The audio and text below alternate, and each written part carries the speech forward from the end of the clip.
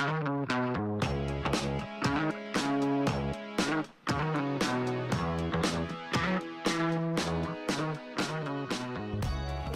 morning, St. Joseph. I'm journalist Sid Davenport. And I'm Kendall Filipino. We begin our morning announcements with the Pledge of Allegiance. Pledge allegiance to the flag of the United States of America and to the republic for which it stands, one nation, under God, indivisible, with liberty and justice for all. Please remain standing for our morning prayer. In the name of the Father, Son, Holy Spirit. O Jesus, through the Immaculate Heart of Mary, I offer you my prayers, works, joys, and sufferings of this day for all the intentions of your Sacred Heart. In union with the holy sacrifice of the Mass throughout the world, for the salvation of souls, the reparation of sins, and the reunion of all Christians, and in particular for the intention of the Holy Father this month. Saint Joseph, pray for us. In the name of the Father, Son, Holy Spirit. Amen. Hi, good morning, dear students, and uh, happy Monday to everyone. And all this week, this coming week, you'll be celebrating two feasts, you know, and uh, St. Patrick's Day is coming. And on Thursday and on Saturday, St. Joseph's Feast. And uh, I wish you all a very happy feast uh, on both feasts to you, everyone. And St. Patrick, you all know about it and uh, about him in a special way.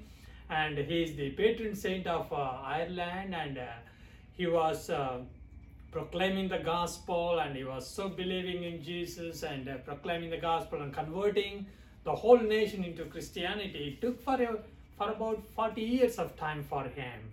And so let us celebrate that great feast day and uh, let's dress up in green, you know. So the green is the uh, nationality of Ireland, and so when we look at the flag of Ireland, you could see also the color of green in that. And also let us have a great meal on that day and uh, uh, corned beef and cabbage, you know. So let's enjoy with that. And also coming on Saturday, you know, St. Joseph's Feast, which is uh, the patron saint of our parish and also the patron saint of our, our school, bearing the name of St. Joseph's School, you know. So I wish you a very happy feast of St. Joseph. And uh, St. Joseph is, uh, is a man of faith and a man of trust and a man of just and uh, you know man of obedience and more importantly he is a man of being silent you know so and uh, he didn't even speak a word in scriptures but uh, he was just listening in silence in uh, silently hearing god's word and uh, in this noisy world in this crazy sounds and everything we need to go enter into that silence part of it and receive that God's inner voice. All right, dear students, and I wish you all once again a very happy St. Patrick's Day and uh, happy St. Joseph's to you, and uh, good luck to everyone. God bless. Science and food preparation teacher Jackie Elsinger reminds us that St. Joseph is the foster father of our Lord and Savior Jesus Christ. Ms. Elsinger is spearheading a project that will allow you to wear jeans on Friday, March 18th if you bring two canned goods with you to help nonprofit organizations here in Conway. St. Joseph's Day is Saturday, March 19th. Here's the patron saint of Universal Church, along with being the one for families, fathers, expectant mothers, travelers, immigrants, house sellers and buyers, craftsmen, engineers, and working people. A lot of people obviously call on St. Joseph for help, and Miss Elsinger challenges us to, to do our part to help others. She challenges the high school to collect 300 canned goods to help the needy on Friday. Will you do your part to meet the challenge? Speaking of challenges, the Interact Club wants to help Conway's Haven House. It's a qualified residential treatment facility for young girls between the ages of 12 and 18 who are in foster care and who have experienced trauma. If you want to help these girls, all you have to do is wear green on St. Patrick's Day, which is this Thursday. Your help comes by paying for the privilege. Bring $1 for each item of clothing or accessory, but no jeans, please. Give the money to your homeroom teachers for collection. Food Services Director Jeff Crowder has today's lunch menu. Good morning, Bulldogs. It's a brand new week. Happy Monday. Today's menu will be chicken fajitas, Mexican rice, cheese dip with chips, and diced pears. Coach Brent Berwick has sports news.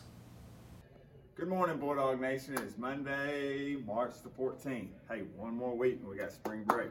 All right, so hang in there.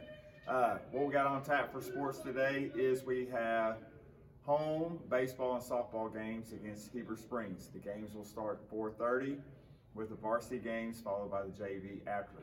Uh, please come out and support. And remember, students, get in free. Uh, softball game will be at City of Colleges. Baseball games at Curtis Walker. They're within walking distance, definitely driving distance of each other. All right. Take care and have a wonderful Monday. Hope to see you at the games. And as always, go Bulldogs. Before we close our announcements, Ms. Elsinger also asked we say this about Saint Joseph. We know he was a compassionate, caring man when he discovered Mary was pregnant after they had been betrothed. He knew the child was not his, but was as yet unaware that she was carrying the Son of God. Joseph knew women accused of adultery would be stoned to death, so he resolved to send her away quietly to not expose her to shame or cruelty. However, when an angel came to Joseph in a dream and told him, Joseph, son of David, do not be afraid to take Mary home as your wife, because what is conceived in her is from the Holy Spirit. She will give birth to a son, and you are to give him the name Jesus, because he will save his people from their sins. Joseph did as the angel told him and took Mary as his wife. The story is taken from the scripture in the book of Matthew, chapter 1, verses 19 through 25.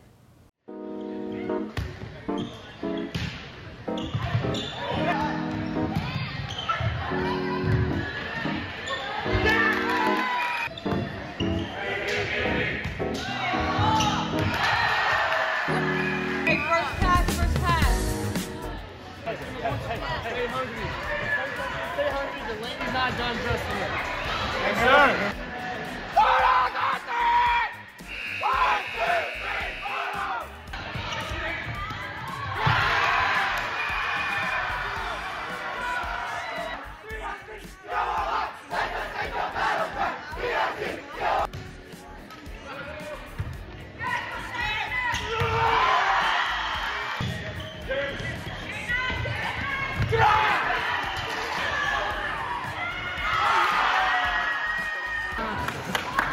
No mercy. Penis on I mean,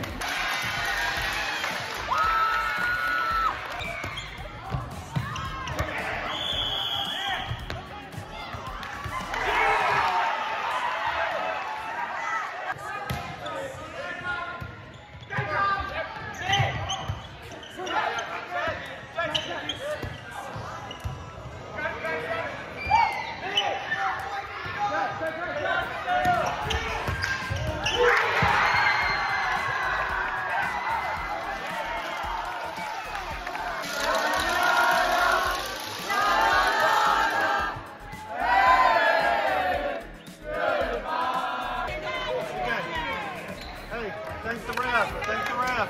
Right here.